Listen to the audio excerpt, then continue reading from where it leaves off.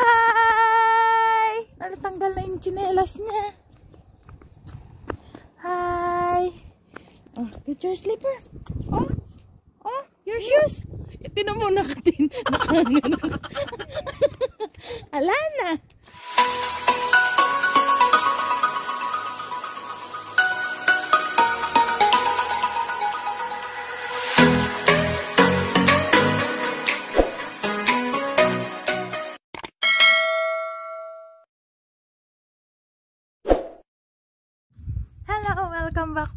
Channel mga kahanggan. So, hello, hello, hello. Kumusta po kayong lahat? So, ngayon po ay araw ng biyernes at ngayon ay Good Friday. Tama? So, next week ay Esther uh, break na. So, pasensya na muna sa mga nasa likuran ko na uh, anik-anik. So, ngayon po ay maganda ang panahon. Medyo maganda, medyo mainit pero medyo mahangin din. So, subukan nating lumabas-labas at magtingin-tingin ng palibot kung natunaw na nga ba yung mga snow-snow. Samahan niyo po ulit ako. Tara, bye! So, ayan mga kahanggan, medyo mainit na nga ang, ang labas at maganda-ganda na yung uh, panahon. Pero may mga snow pa rin naman. Ayan oh may konti-konti pa rin na snow na natitira sa mga gilid-gilid. Yun yung mga hindi naaabot ng init. So, ayan. May plano ako dito sa summer. So, lalagyan ko siya ng bulaklak. Yun yung aking kabahayan sa loob. Yan. Yan. Tutubo na yan ulit. Kal nakalbo siya dahil sa lamig.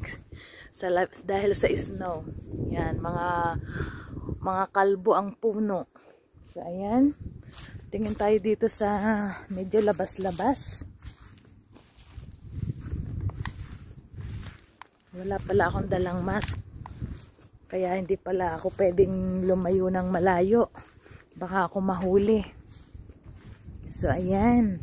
Dito sa may gilid namin, medyo konti na lang din yung snow. Yan. So, ayan. Yan yung sa may likod ng garahe namin. And then ito yung school. Yan. Yan. Ang ganda na ng panahon oh. Medyo dry na yung mga mga daan. At may mga nagbabike na rin ng mga bata. Hindi yan maiiwasan basta uminit.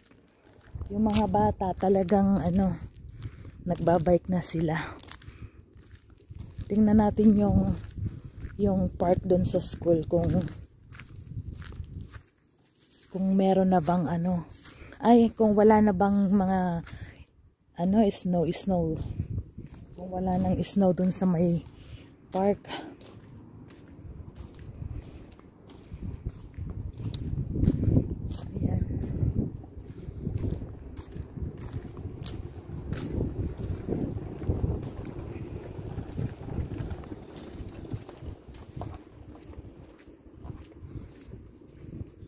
Medyo malapit lang kasi ito sa aming bahay kaya ano, madali lang puntahan.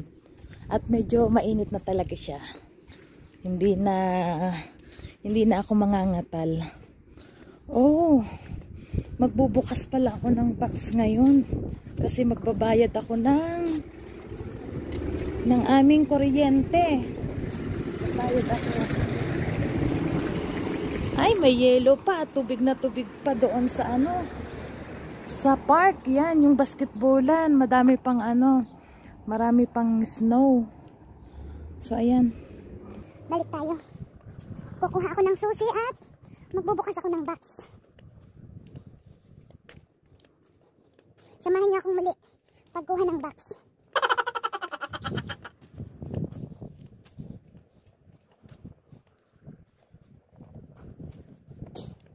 Yan lang yung bahay namin, no? Yung may bakod na yan kulay green. Magpipintura kami ng bagong pintura ngayong summer. So, papalitan namin yung kulay green na yan kasi yan ay pintura pa ng dating may-ari ng bahay. So, no choice na kami. Kaya ano, ngayon nagpaplano kami na magpintura. Mapalitan ng bagong kulay. Kunin ko lang yung susi sa loob at punta tayo sa box. So, ayan, tara. Magbukas tayo ng box. Ito na yung susi.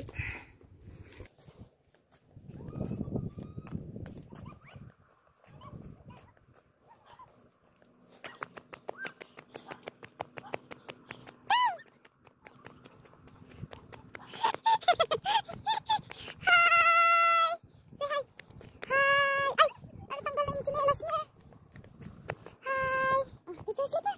Oh, oh, your shoes. Itinan mo natin. Nakagano.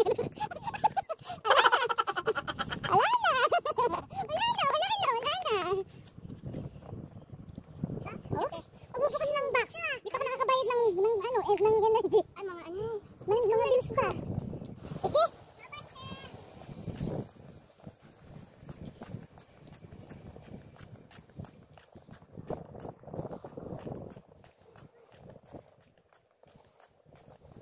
So ayan, mga kapwa Pinoy.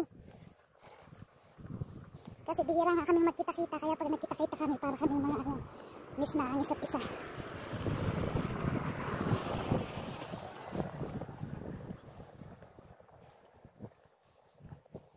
So dito mayroon na siyang shortcut dito. Pero dito tayo daan para mainit. Gusto ko mainitan kasi ang lamig.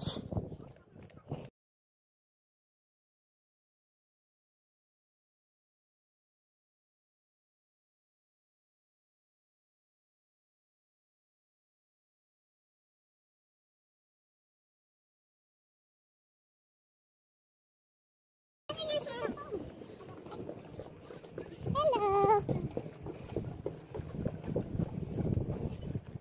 Ayan, store. Yung mga store ngayon ay sarado. Halos wala ngayong bukas. Kasi nga holiday. Holiday, holiday. Tapos walang pasok mula Monday. Mula, ka, mula ngayon wala nang pasok. Baliktad nga sila kasi yung sa atin sa Pilipinas pagpasok ng Monday, Lunes Santo, Lunes, Martes, Merkules, Webes, Biyernes, walang pasok. Tapos ang pasok na ay ah, Monday, Lunes na. Dito hindi. So ayan, bukas tayo ng box. Yan, puro mga bills.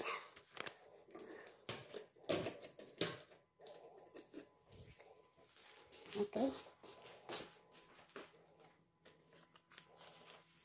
So ayan, tara na.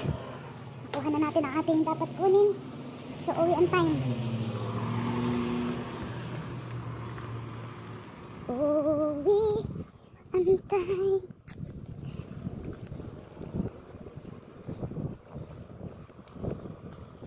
Please go.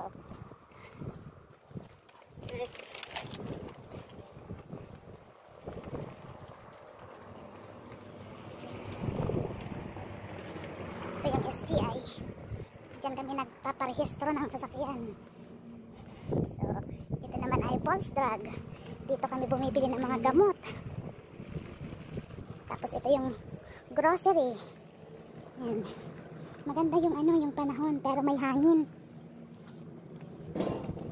Brisbane Town. Ano pa ito?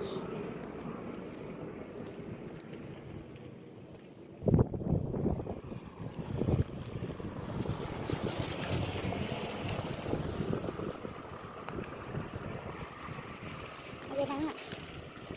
Power. Oh!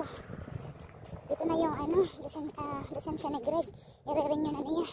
Kasi nga pala magbe-birthday na, magbe-birthday na nga pala siya. So, birthday ng asawa ko ay April 12 at ang birthday naman ng anak ko ay 22. So, ayan. Tingnan naman yung palibot namin, oh. Isang straight lang naman to eh, parang pa-L lang. Isang diretsong yan, tapos liliko doon sa kaliwa. Tapos yun yung post office. Pwede din kasi dyan dumaan sa likod ng building na yan. Eh, malilim, malamig kasi medyo mahangin. So dito na lang tayo para maano tayo ng hangin. Ay, ng init. Mabilad. Mahangin. Pero alam nyo ba, pagpasok ito sa bahay, ang baho-baho sa tabi no, ng ano, nung hangin kasi nga, syempre yung mga damo, yung mga nababad sa snow sa lamig. Tapos ngayon yung yung singaw, yung ano sa hangin, laman ng hangin. Kaya medyo hindi pa siya mabango sa sa balat or sa damit.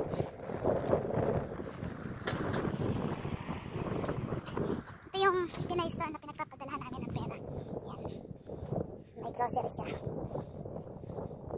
So ito naman ang bahay ng mayor ng mayor namin dito sa aming lugar. Tapos ito kasunod Pinoy. Tapos kami na.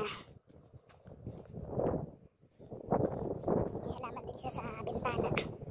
Halos lahat dito naghahalaman na din eh kasi nung nag-pandemic halos wala nang mapaglibangan. So ayun, nandito na tayo sa sa aking masaysay. Tapos na ang ating paglalamyarda. So pakita ko lang sa inyo yung garden ko. Garden namin. Yan. May mga ginawa kami ganyan. Mga plat. Yan. Yan. Aalisin namin yung mga tabla-tabla pa yung mga kalat na yan. Kasi may, may tanim na siya. Ah, meron na ako dyang tulips at saka yung ah, ano bang tawag doon? Um, ako, nakalimutan ko na. Basta may tanim na ako dyan ng mga bulaklak. Tapos yan, yung garden kong yan, ay tataniman ko ng mga patatas, ng kamatis, ng ano pa ba? Beans, ah, sibuyas. Yun naman kalimitan lagi yung tinatanim namin. Kasi yun yung mga pangunahing pangangailangan. Tapos itong konting ito, itong maliit na plat na to, may bulaklak din yan. So mga bulaklak ulit ano ko dyan. May mga tulips ulit ako dyan na tinanim na sana ay tumubo. Ayun, may tumutubo na ulit oh. Ayun, tumutubo na siya. Sana maggumanda para ano yan, may snow pa. Kasi hindi siya naiinitan. Kaya stuck pa yung ano. Pa yung snow, yung yellow. Kahapon may yellow pa dito. Ngayon, dahil nga may mainit, plus 10. Mainit, kaya yun, itong isang malaking to lalagyan ko yan ng patatas. So, ayan lang. Yan. Okay na. Tara, pasok na ako guys. At makapagluto ng kung anong pwedeng na merienda. Salamat sa panonood guys sa mga video ko. Salamat sa walang sawang pagsuporta sa aking YouTube channel. So, kung bago ka pa lamang sa aking ah, video na to, ah, huwag mong kalimutang i-click ang subscribe at ang notification bell button para maging up- ma-update ka sa susunod kong mga video gagawin. So ayun lang po, maraming salamat mga kahanggan. God bless po at ingat po, tayong lahat lalo na ngayon. Hindi pa halos natatapos ang, ang pandemic so ingat talaga. Wala naman tayong ibang ah, matibay na sandata kundi ang panalangin at ang siyempre yung doble ingat. So ayun lang po, maraming pong salamat. Papaalam, bye-bye.